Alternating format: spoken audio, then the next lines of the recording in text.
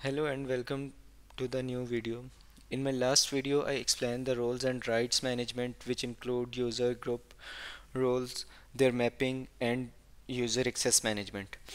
In this video I will explain the forms uh, which includes the overview of form, form elements, form menu, form layout and form design. So let's start with the overview of form. A form is a content page displaying fields and values for a single record from a database table. Form provide a structured layout for viewing and editing individual records and are a key component of platform user experience. The specific information on the form depends on the type of record display. User can view and edit records in forms. Forms have a one column layout and a two column layout or mix of both forms may contain sections. So let's move to the uh, my developer instance for further understanding.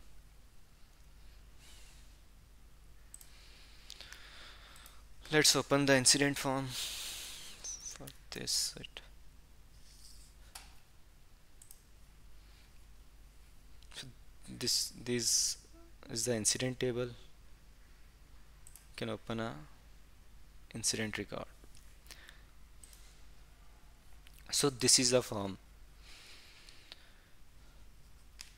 which includes uh, different fields and uh, you can say different sections and all these things and it contain a rec uh, single record information of a single record and uh, this form uh, contains a one column layout and also a two column layout. So it is a mix of both. Like this area is two column layout and this is one column layout.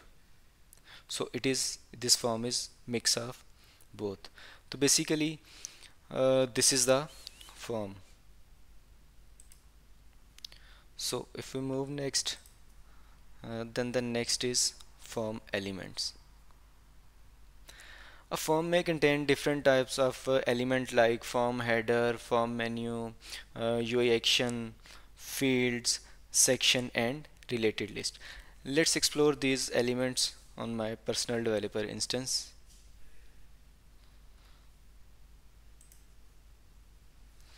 So this is the form.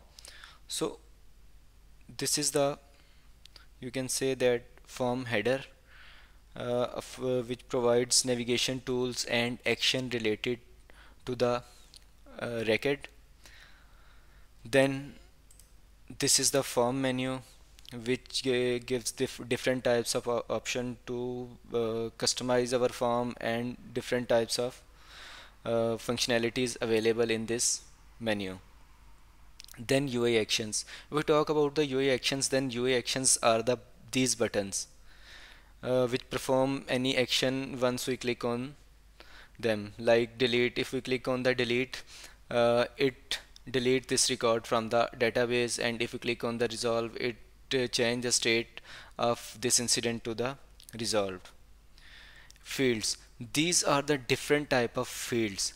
Like this is the reference field this is the uh, string field you can say and this is the drop down. So these all are the fields so fields basically store specific data about the records fields allow uh, user to input view and interact with the data on the form within the uh, platform user interface. These fields represent specific attributes or properties of the record and provide structured way for user to work with data. Then sections. These are the sections. So sections are logical groupings of the field in the baseline case sections are rendered as the tabs at the bottom of the form. Uh, the use of sections prevent user for having uh, to scroll through long forms. And this is the related links which provide the links of different uh, you can say tables. And under this this is the related list. Related list displays record in other tables that have relationships to the current record so these are the uh, you can say the basic elements of the form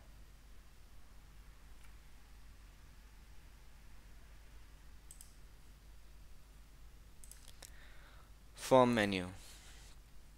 Then form menu provide uh, different options like configure export view favorite reload form so let's see on my developer instance so this is the menu which provides uh, save uh, add to visual taskboard copy incident and many other options if we click on the save it saves changes without leaving the form form view.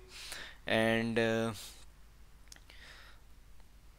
then you can see add to visual task board. If you click on this then it add this incident to the uh, visual task board then copy incident this can copy the incident create incident task it creates the task incident and these all are the different options. If we talk about the uh, configure then configure provides uh, admin functions such as configuring forms uh, related list and many other options.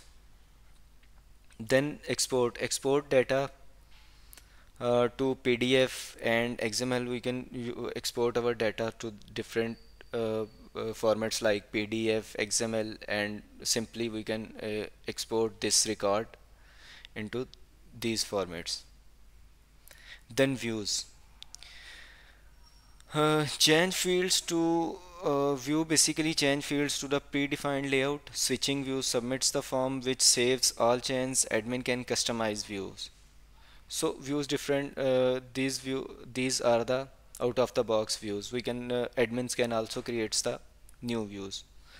Create favorite uh, adds the current record to your favorite list represented by star icon on the tab and copy URL it copies the link of this uh, you can say record and copy sys id it copies the sys id of this record what is sys id sys id is a unique identifier assigned to each record within the platform's database. It serves as a primary key. Then copies uh, then show xml uh, uh, displays record data in uh, zero format xml format. Then uh, you can say history it display the history of this record and if we click on the reload form then it simply refresh the form. So this is the form menu.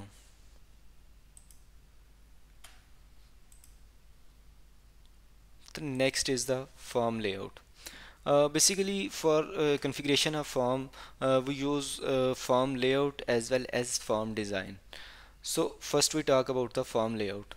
Uh, a form layout configure the appearance of the form it displays the slush bucket and we can show hide fields on the form by using the form layout. We can create new views uh, by using the form layout. We can create new sections and also create new fields. So let's explore this on my personal developer instance. Uh, to open the form layout you can simply click on the configure and then form layout. Form layout displays the slush bucket uh, this slush buckets so displays the available fields and selected fields. These selected fields are the fields which are currently showing on the form.